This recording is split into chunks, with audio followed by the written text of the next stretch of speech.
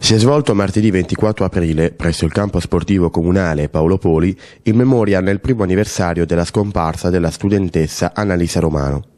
Al triangolare studentesco di calcio, organizzato con il patrocinio del comune di Molfetta nell'ambito del progetto Gioco a scuola, hanno partecipato gli studenti dell'Istituto Tecnico Commerciale Gaetano Salvemini di Molfetta, dell'Istituto Tecnico Commerciale dell'Olio di Bisceglie e dell'Istituto Tecnico Industriale Ferraris di Molfetta. Il memorial è stato l'occasione per creare un momento di festa nel ricordo di una giovane vita felice come era quella di Annalisa, tramite una semplice e amichevole partita di calcio. Abbiamo ascoltato i ricordi dei parenti che hanno rievocato la sua voglia di vivere e di lottare e gli amici che hanno rivolto un emozionante saluto ad Annalisa. Attraverso questa manifestazione qual è la comunicazione che deve giungere ai giovani?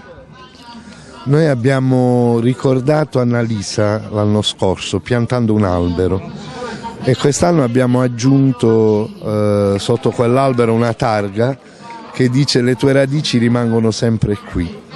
Abbiamo bisogno di radicarci nel ricordo delle persone, abbiamo bisogno di farle rimanere in mezzo a noi. Annalisa è rimasta in mezzo a noi e oggi la vogliamo ricordare con un confronto sportivo tra squadre che fanno riferimento un po' al, al contesto di Annalisa, la sua scuola, la nostra scuola, il Salvemini, ma anche l'ITC dell'olio di Biceglie, in cui la mamma di Annalisa insegna, e l'industriale, il eh, Galileo Ferraris di Molfetta. Cosa volete dire ai giovani in nome di Annalisa?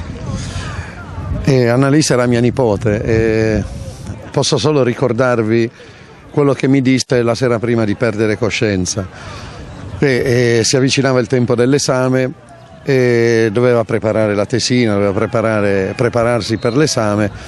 E la sera prima io le dissi Annalisa ricordati che appena stai meglio dobbiamo, uh, dobbiamo studiare, dobbiamo preparare qualche cosa.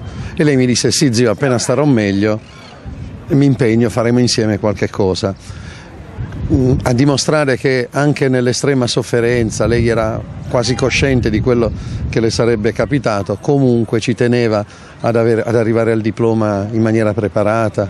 È un po' un invito a tutti i ragazzi di non abbandonare mai la speranza nello studio, perché anche nelle estreme situazioni, nelle situazioni più, più brutte, quelle che uno non vorrebbe mai vivere, comunque l'impegno nello studio, l'impegno nel lavoro è sempre una cosa fondamentale per un giovane.